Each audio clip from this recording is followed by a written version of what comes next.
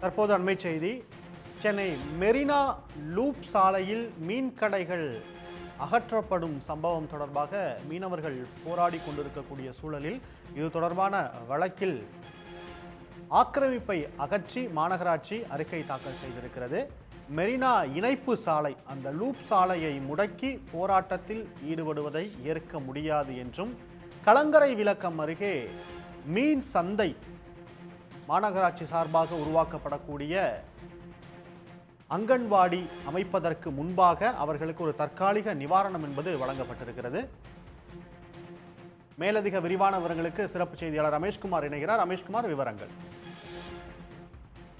சென்னை கலங்கரை விளக்கம் முதல் பட்டினப்பாக்கம் வரையில் நடந்த லூப் சாலையை ஆக்கிரமித்து அப்பகுதி மீனவர்கள் வந்து மீன் கடைகளை அமைத்துள்ளதாகவும் அதனால போக்குவரத்து பாதிக்கப்பட்டுள்ளதாகவும் கூறி சென்னை உயர்நீதிமன்றம் வந்து தாமாக முன் வந்து ஒரு பொதுநல வழக்காக எடுத்துக்கொண்டு விசாரித்து வருகிறது. கடந்த முறை இந்த வழக்கை விசாரித்த சென்னை உயர்நீதிமன்றம் வந்து லூப் சாலையினுடைய மேற்கு பகுதி ஆக்கிரமிப்புகளை அகற்றி அறிக்கை தாக்கல் செய்ய வேண்டும் என்றும் அங்குள்ள உணவகங்களுக்கு உரிமம் வழங்கப்பட்டுள்ளதா என்று அறிக்கை தாக்கல் செய்யவும் மாநகராட்சிக்கு உத்தரவிட்டிருந்தது. இந்த நிலையில தான் வழக்கு இன்று மீண்டும் நீதிபதிகள் எஸ் எஸ் சுந்தர் மற்றும் பாலாஜி அடங்கிய அமர்வு முன்பு விசாரணைக்கு வந்தது. அப்போது மீனவர்கள் தரப்பில் ஆஜரான மூத்த வழக்கறிஞர் டி மோகன் இந்த வழக்குல தங்களை இணைத்துக்கு கோரி ஒரு மனு ஒன்றை தாக்கல் செய்தார்.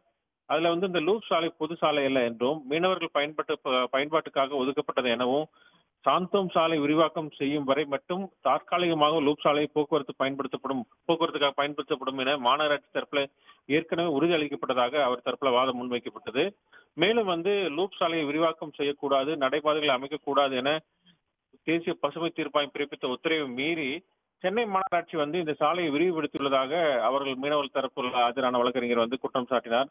மாநகராட்சி சார்பில் ஆஜரான அரசு தலைமை கூற்று கூடுதல் தலைமை வழக்கறிஞர் டி. ரவீந்திரன் ஜே. ரவீந்திரன் மீன் விற்பனையை முறைப்படுத்த கோரிய இந்த வழக்கு விசாரணைக்கு எடுத்துக் கொள்ளப்பட்டது என்றும் மாநகராட்சி முறைப்படுத்தும் எனவும் தெரிவித்தார். சென்னை மாநகராட்சி ஆணையர் தரப்புல ககன்தீப் சிங் பேடி தரப்புல ஒரு அறிக்கை தாக்கல் செய்யப்பட்டது. அதுல வந்து ஏப்ரல் பன்னெண்டு முதல் லூப் சாலையில் உள்ள ஆக்கிரமிப்புகள் அகற்றப்பட்டு வருவதாகவும் அப்பகுதியில் உள்ள மீனவர்களுக்கு மீனவர்களுடைய எதிர்ப்பையும் மீறி அங்குள்ள கடைகள்லாம் அகற்றப்பட்டதாகவும் இந்த பணிகள் வந்து தினசரி அடிப்படையில் மேற்கொள்ளப்பட்டுவிட்டு தின ஆக்கிரமிப்பு இல்லாத சாலை இருப்பதை உறுதி செய்யப்படுவதாகவும் அவர் வந்து அவர் குறிப்பி அவர் இந்த மனுவில் அறிக்கையில் தெரிவிக்கப்பட்டிருந்தது. சாலையினுடைய மேற்கு பகுதியில் உள்ள உணவகங்கள் மற்றும் நடமாடும் உணவகங்கள் போன்ற ஆக்கிரமிப்புகளையும் அகற்றி நடவடிக்கையின் ஒரு பகுதியாக உணவகங்களுக்கு நோட்டீஸ் கொடுக்கப்பட்டுள்ளதாகவும் அந்த மனுவில் அவர் வந்து தெரிவித்திருந்தார். மேலும் வந்து இந்த கடற்கரை ஒட்டிய மீன் கடைகளுக்கு வருவோரின் வாகனங்களை வந்து கலங்கரை விளக்கம் மற்றும் பட்டினப்பாக்கம் பெருநிலையம் அருகே உள்ள இடங்களில் மட்டும் நிறுத்தும்படி காவல்துறையினர் அறிவுறுத்தியுள்ளதாகவும் அந்த பதில் மனுவில் தெரிவிக்கப்பட்டிருந்தது.